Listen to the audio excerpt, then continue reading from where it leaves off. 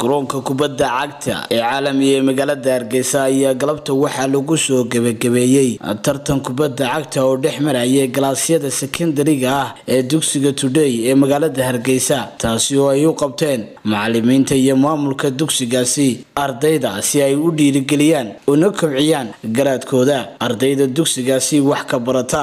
Haddaba tartankaasi ayaa waxaa isugu soo baxay.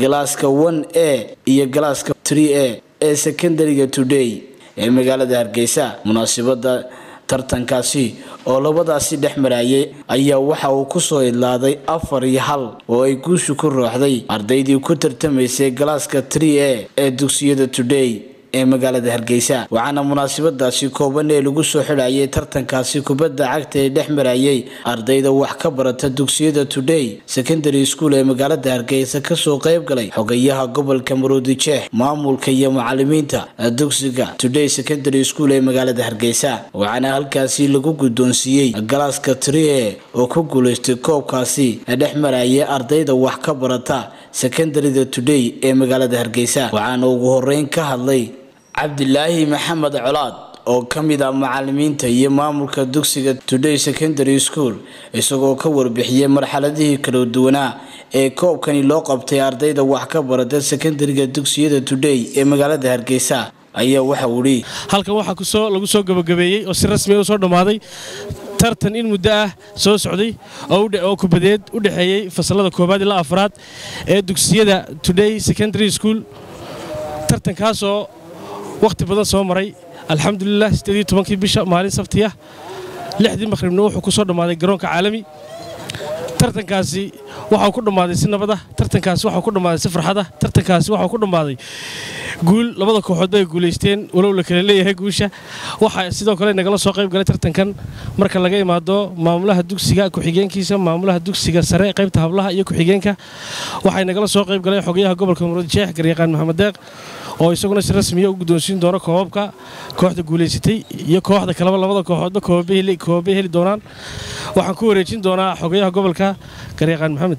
Maanta waa maalin qiimeeye qaayo badan waxaa halkan ka socday tartan marxalado badan soo maray sida maamulka dugsigu ka dhawaajiyey tartankaas oo maanta garnabo nimanka ma wada qoslisee ay raacday galaas wan iyo waxaa isku soo baxay foonwanada iyo foontiriyada foontiriyada ayay raacday guushu. Ee tudhey iskuulladuna waxa weeye waa iskuulka tudhey waxaanu leenahay hambalyo waxay isdhexgal ballaaran ayay muujisaa kubaddu waxay kor u qaaddaa maskaxda ayay ka qayb qaadataa inay kor u qaaddo maskaxda caafimaadka qabta ama jidhka caafimaadka qaba ayay aqoontuna ku jirtaa. Kolkaa dhallinyarada waxaan ku boorinaynaa iyaga oo aqoontooda ilaalinaya inay jimicsiga iyo isboortigaba ka qayb qaataan. Qaran ahaanna ay muhiim inoo tahay oo ay sumad qaaliya u noqon doonto qaranka inanka ciyaartooyga ee ka soo dhex baxa haddii uu caalamka inooga iibsamo wuxuu noqon doonaa inaan qarannimadeena matala inaan magaciisa maamuuskiisa dugsiga huwan. Kolkaa aad iyo aad baan ugu hambalyeynaynaa maamulada iskuullada ee tudhey iyo dhammaan cid kastoo ka soo qayb qaadatay hawshan ay ku tartamayeen dhallinyaradu ee kubadda cagta ah iyo garoonka. Laftigiisana aad iyo aad baan maamulkiisana ugu mahadnaqaynaa. Ka xukuumad ahaan iyo ka gobol ahaan aad iyo aad baan u garab taagannahay yididiiladaasina waxa weeyaan afar iyo labaatanka saac minute by minute second by second waa horumarka qarankeena u kordhaya kolkaa da'yarta waxaanu leenahay waxa gogoldhig u ah ama tiirdhaxaad u ah ama muraayad u ah waa amniga aynu haysanno. Kolkaa waxaan leenahay da'yarta amniga aynu ilaalinno amniga aynu wada ilaashanno. Cid kastoo amnigeena dibidaanyadeynaysa ama qarannimadeena ka soo horjeedana waa inaad kaga qayb qaataan ficil aqooneed iyo mid kaleba cid kastoo amniga waxyeelaynaysa waxaad la socodsiinaysaan laamaha amniga halkii kuugu dhow. Waxaan aad iyo aad ugu boorinayaa innagoo qacmahays haysannaa waxyaabaha ay ciyaaraha noocan oo kale ay ka turjumayaan waxaa ka mid ah inay kor u qaaddo isdhexgalka ardayda inay reebto waxyaabaha xune balwadaha inay reebto kala qoqobka inay reebto qabyaaladda iyo bukhulkaba inay reebto. Waxay kor u qaadi kartaa inuu ardaygu noqdo arday dhammaan ardayda iskuullada sekandariga ah ee tudhey inay isbartaan oo laga yaaba imka ardaydaas inaanay marka hore aanay saqoonin laakiin maanta ay saqoonayaan jacayl badan iyo boholyo badanna ay wada qaadayaan.